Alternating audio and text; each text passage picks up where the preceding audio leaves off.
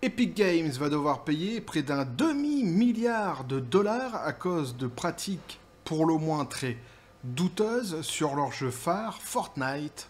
On voit ça ensemble.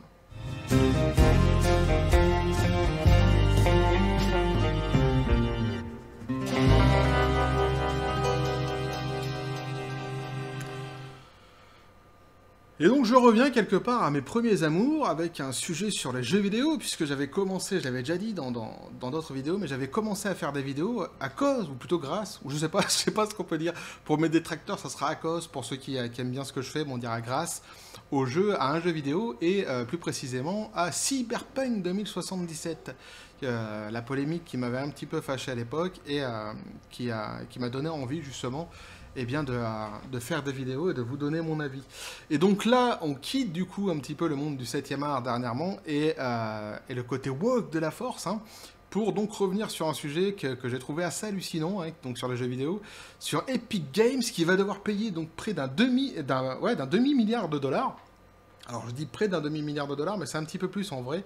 Vous allez voir, et on est dans euh, on est dans euh, de la filouterie, dans de, je sais pas si on peut dire de l'escroquerie, en tout cas on est dans du foutage de gueule assez, euh, assez fascinant. Euh, donc on va voir ça ensemble, petit café les copains. Et en plus de, de, Cherry on the Cake, la cerise sur le gâteau évidemment, ça touche les enfants, hein. pourquoi pas? Vous allez voir ça, donc on nous dit Epic paiera un record de 520 millions de dollars, ça c'est un fade point case pour régler les allégations de la FTC. Running gag, hein, toujours pareil. Alors, le fabricant de Fortnite a été... Mais je fais encore plus mal l'accent belge, je, l'essaye même pas. Je, je, vais même pas l'essayer devant vous parce que euh, je suis ridicule en accent belge. Mais en accent tout court, en règle générale. On s'en fout, mais je vous, le dis quand même. Alors, le fabricant de Fortnite a été accusé d'avoir violé la vie privée des enfants et d'avoir incité les joueurs à effectuer des frais indésirables. Ah, c'est une histoire tout simplement hallucinante. Euh, le fabricant de Fortnite, Epic Games, a accepté de payer plus d'un demi-milliard de dollars pour régler une paire de plaintes déposées contre lui par la Federal Trade Commission, donc la FTC des États-Unis. Dans deux règlements records distincts, la FTC a déclaré qu'Epic paierait une amende de 275 millions de dollars pour avoir enfreint la loi, j'adore mon accent américain, euh, pour avoir enfreint la loi donc COPA, alors la loi COPA c'est Children's Online Privacy Protection Act, donc la protection de la vie privée des enfants en ligne.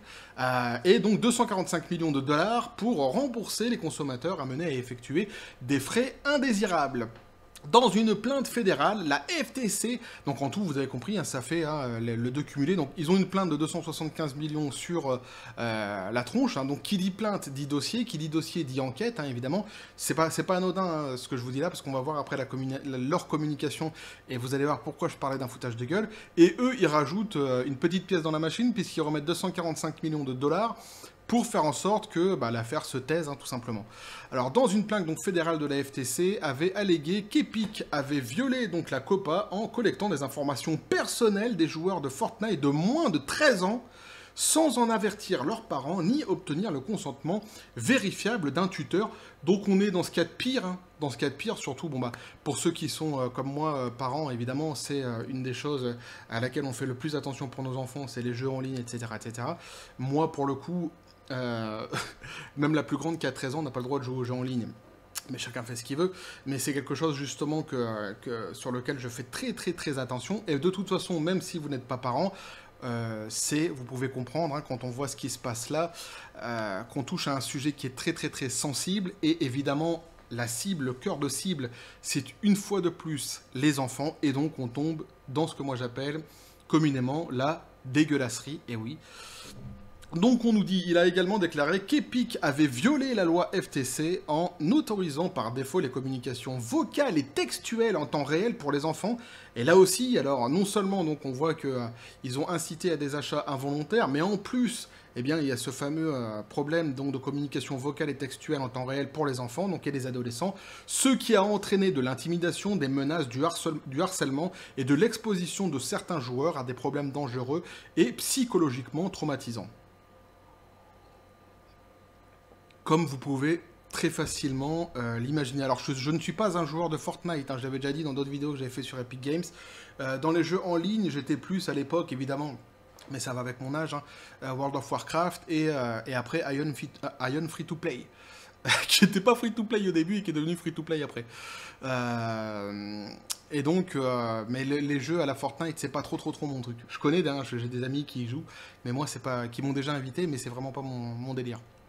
Mais bref, on s'en fout. Donc il sera donc désormais interdit à Epic d'activer les communications vocales et textuelles pour les enfants et les, les adolescents, à moins qu'un consentement affirmatif ne soit fourni via un paramètre de confidentialité, ce qui me semble quand même assez... Euh, naturel. Et euh, ce qui est d'ailleurs assez dommage que, que, que, cela ne fut pas fait avant, justement. Alors, dans une plainte distincte, la FTC a allégué, mais justement, c'est rigolo parce qu'on voit, euh, évidemment, que vu qu'il y a eu une enquête, on met à jour certaines pratiques. Et quand on va voir la communication d'après après de Epic, je sais, sais pas... Euh, comment je pourrais dire Je sais pas comment on pourrait dire autrement que de dire qu'ils se foutent vraiment de la gueule du monde. Franchement, honnêtement, j'ai cherché un terme plus poli, mais on va voir leur communication, vous allez voir, c'est assez hallucinant. Euh, donc j'en étais où Allégué, donc utiliser donc le modèle. Alors, dans une plainte donc distincte, la FTC alléguait qu'Epic utilisait des modèles sombres et des pratiques de facturation pour inciter les joueurs de tous âges à effectuer des achats non désirés et laisser les enfants accumuler des frais non autorisés sans aucune implication parentale. Et justement, on peut se poser la question, mais comment faisait-il eh Bien, vous allez voir, c'est assez... Euh, assez sournois comme pratique, la configuration des boutons contre-intuitifs, incohérente et déroutante de Fortnite a conduit les joueurs à encourir des frais indésirables en appuyant sur un seul bouton, a déclaré la FTC. Donc en fait, ils ont... Euh, c'est hallucinant, c'est-à-dire que c'est ce que eux ils appellent donc des, boutons contre-intuitifs, c'est-à-dire que si vous cliquiez dessus à, un certain moment, eh bien vous payez, vous achetiez sans le vouloir et sans le savoir.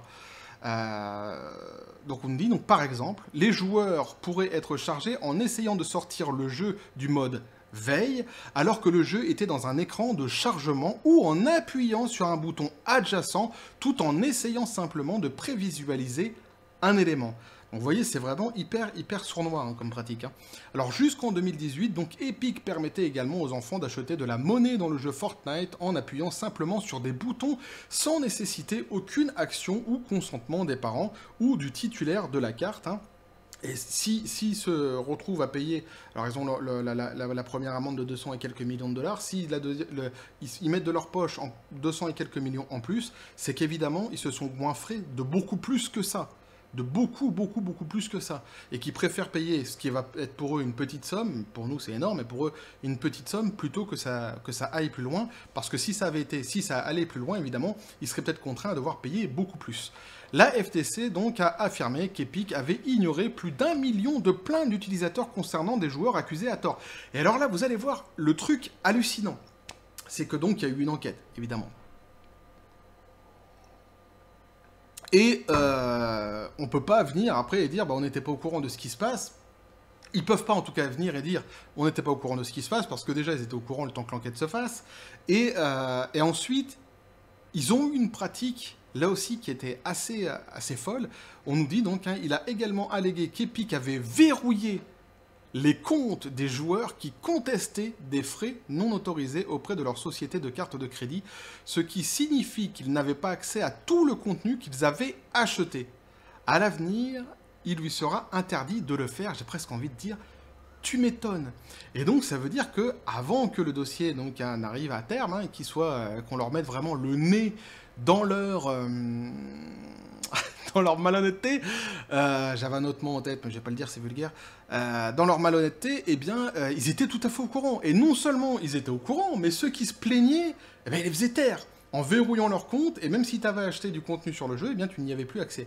Ce qui est tout simplement vraiment dégueulasse, et ce qui est assez hallucinant quand tu as fait tout ça, évidemment, quand, quand on est arrivé à, des pratiques pareilles, la moindre des choses que tu pourrais faire, c'est faire un mea culpa et, promettre que ça n'arrive plus jamais, évidemment.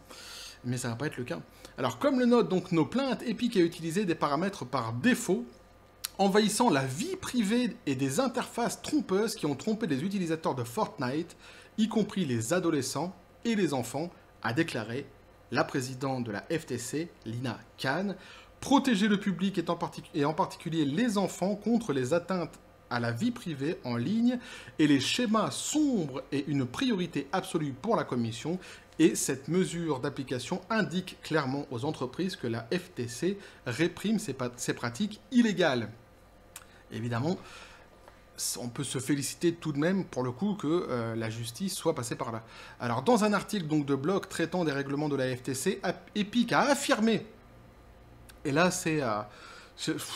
Souvent je dis tapis rouge quand les mecs, il y a, quand il y a une communication, mais là franchement, ils, ont l'art en fait hein, de nous prendre pour des cons, mais à une puissance, à un niveau, euh, c'est surhumain à ce niveau-là. Donc bah attachez vos ceintures, hein, c'est parti. Donc on nous dit donc hein, aucun développeur ne crée un jeu avec l'intention de se retrouver ici. Ah évidemment, t'as pas envie de te retrouver dans les tribunaux, ça c'est clair. Ça là-dessus on veut bien le croire. Mais ça veut pas dire que t'avais pas une petite intention quand même derrière. Alors nous avons donc accepté donc cet accord. Nous avons donc accepté cet accord, nous disent-ils, parce que nous voulons qu'Epic soit à la pointe de la protection des consommateurs et offre la meilleure expérience à nos joueurs. T'imagines un peu comment il faut vraiment avoir du culot pour dire ça, quoi. On vient de te dire, avec preuve à la pluie, à la, pluie, à l'appui, que tu as trompé des enfants euh, de 13 ans et moins, hein, des, jeunes adolescents de 13 ans et donc des, enfants, et toi, tu arrives derrière et tu dis, mais on a accepté cet accord parce que justement, on veut la protection des joueurs. Il faut vraiment être, euh, ouais, faut être une crapule hein, pour parler comme ça, j'ai pas d'autres mots. Si, j'en ai d'autres. Évidemment que j'ai d'autres mots, mais si je les lis, euh, il va falloir que je mette des bips partout parce que. Des bips, hein, j'ai bien dit bips. des bips partout, parce que sinon, euh, ça deviendra vraiment trop vulgaire. Euh, mais pour moi, en gros, c'est euh, des, des enfoirés, faut le dire clairement. Alors, au cours donc, des dernières années, nous avons apporté des changements pour nous assurer que notre écosystème répond aux attentes de nos acteurs et régulateurs, ce qui, nous l'espérons, sera un guide utile pour les autres acteurs de notre industrie. Alors là, dans cette phrase, c'est extraordinaire, parce qu'ils disent que donc dans les, années, dans les dernières années, ils ont tout fait justement pour essayer de faire au mieux pour tout le monde. Sauf qu'en fait, les choses qu'ils ont réparées, c'est des choses à chaque fois euh, qu'ils ont été obligés, contraints de faire parce qu'il y avait des, des, plaintes et des réclamations contre eux. Et surtout, cette chose-là, précisément, ils étaient au courant depuis des années, puisqu'ils fermaient les comptes des gens qui se plaignaient euh, et ils n'ont absolument rien fait. Mais là, ils te disent que si, ils ont tout fait. Et alors, ils balancent en plus un autre missile derrière pour dire faut partager les torts avec tout le monde, parce que c'est pas parce que vous nous frappez, nous, qu'il faut pas les frapper les autres, puisqu'ils disent, euh, donc, ils, souhaitent que ce sera un guide utile pour les autres acteurs de notre industrie. Donc, sous-entendu, on n'est pas les seuls enfoirés dans le milieu. Mais on le sait, que vous, que vous soyez pas spécialement, que ce ne soit pas les seuls enfoirés dans le milieu, on le sait. Mais là, pour le coup, hein, Téléprix euh, qui croyait prendre, c'est eux qui se sont fait attraper, donc forcément, c'est eux qui payent. Mais la communication, elle est vraiment hallucinante. Hein. Il dit donc qu'ils ajoutent, hein, l'ancien statu quo pour le commerce et la confidentialité dans le jeu a changé, et de nombreuses pratiques de développement devraient être reconsidérées. Hein? Mais t'as l'impression que c'est pas eux qui ont fait ça, tu vois ce que je veux dire? On a l'impression que c'est quelqu'un d'autre, c'est quelqu'un qui est extérieur à l'entreprise, qui est en train de faire un constat, en fait. C'est Captain Constat, le mec il te fait un constat de, ce qui est en train de se passer, mais il n'y a pas du tout de, On est désolé, déjà, dans la communication. Je trouve ça fou. Nous partageons les principes sous-jacents d'équité, de transparence et de confidentialité que la FTC applique. Et les pratiques référencées dans les plaintes de la FTC ne correspondent pas à la façon dont, Fortnite fonctionne. Ah, c'est juste hallucinant. Et donc ils disent, là j'ai presque envie de dire chapeau bas l'artiste, hein, sur la dernière phrase, nous continuerons d'être francs sur ce à quoi les joueurs, je rigole, mais parce que c'est tellement, c'est tellement osé, franchement. Alors sur ce à quoi les joueurs peuvent s'attendre lorsqu'ils effectuent des achats, de nous assurer que les annulations et les remboursements sont simples et de mettre en place des garanties qui aident à garder notre écosystème sûr et amusant pour un public de tout âge. Donc voilà ce que je pouvais vous dire là-dessus sur cet article. Évidemment, euh, il y, en a certains qui vont venir et qui vont dire oui, mais euh, ils disent ça, c'est un petit peu un message. Euh, qu'est-ce que tu voulais qu'ils disent? Ils ont rien d'autre à dire. Bah en fait, si.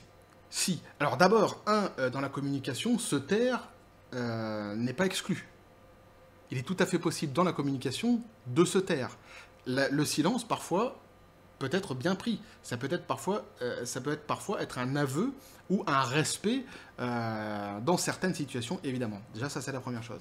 Et la deuxième chose, je pense que tout peut être dit en dehors de dire des choses qui sont euh, offensantes qui sont encore, euh, qui sont du foutage de gueule tout simplement pour le public. C'est-à-dire que tu peux tout dire sauf ça. Et là, c'est exactement ça. Ils auraient pu tout simplement dire, on est désolé, on se rend compte que la pratique qui était la nôtre n'était pas la bonne.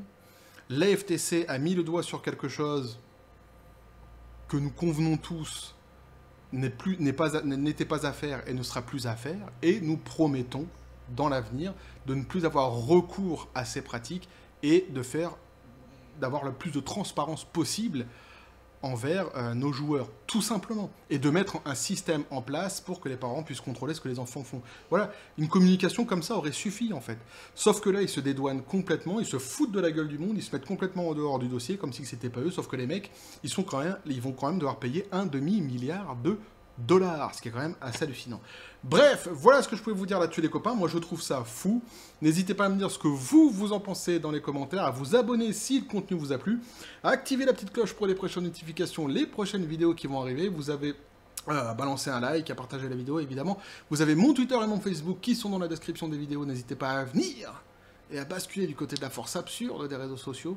Sur ce, les copains, je vous dis toujours à la John Spartan, paix, félicité, et puisque c'est la fin euh, d'année, puisque ce sont les fêtes de fin d'année, je suis en train de préparer une vidéo FAQ, euh, foire aux questions, pour fêter les 1000 ans, euh, les 1000 ans, voilà, les, les, 1000 ans, pourquoi pas, nous sommes tous des Duncan MacLeod en puissance, euh, les 1000 abonnés de la chaîne, et il faudra aussi que je fasse une petite vidéo, une petite vidéo fin d'année, un peu rigolote, je vais essayer.